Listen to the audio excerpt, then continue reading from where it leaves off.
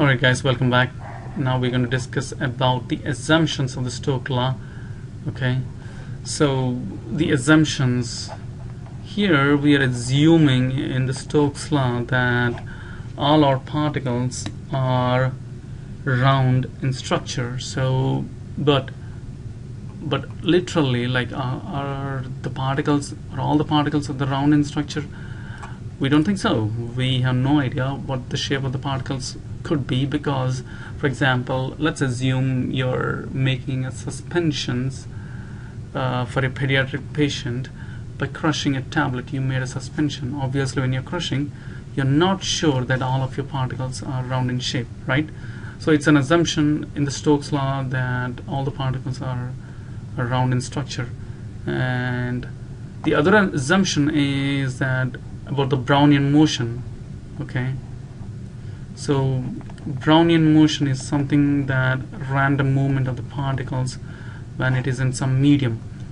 So for example let's assume that this particular particle is moving like weirdly like up and down uh, like some, some random movement like this. So it's going to be affecting its settlement right? If there is a Brownian motion. Brownian motion is nothing but the random random motion right? Random motion so this particle for this particle we assume that it is not undergoing this random movement it's just taking a straight path. It's just taking a straight path. That's a straight path. We assume that it's going settling down straight. And the other you know consideration is we in the Stokes slide is assumed that there are no electrokinetic motions, electrokinetic motions in the sense, let's assume the charge of this particle is is positive and the charge of this particle is also positive. And if these two particles come closer obviously they just repel right? Let's assume let's assume this particle this is a beaker. And this is particle A and this is particle B. Obviously these these are this heavy there won't be any electrokinetic motions but let's assume like this is one particle and this is positive charge and this is positive charge. These two particles if they come closer obviously they, they repel each other right? They repel e with each other and they'll move apart.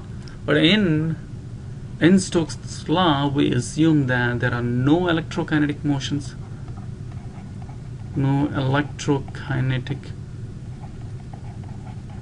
motion okay? And no Brownian motion. No Brownian motion. And particles are spheres. That's what the Stokes law assumes and also Stokes law assumes that there are no aggregations aggregation no aggregation. That means let's assume this particle is aggregating with this particle okay? Then they just aggregate it together. So now it's just one particle and the sedimentation rate will be higher. So Stokes law assumes that there are no aggregations. And also Stokes law assumes that the suspensions are dilute. Suspensions are dilute okay? That means less than 2% weight by volume. So Stokes law assumes that suspensions are dilute and Stokes law assumes the other thing that all the particles will have the same velocity. So particle this is one particle and this is one particle and Stokes law assumes that all the particles will have same velocity which is not true obviously it may but Stokes law's assumptions these are the assumptions that Stokes law is undergoing okay? So but in reality in reality there are some forces that act on suspensions okay forces on suspensions. So what are the forces that are acting on suspensions? According to what we have discussed earlier which you may notice only the gravitational force that's what we have discussed that is acting right? Uh, gravitational force. That's what we have discussed.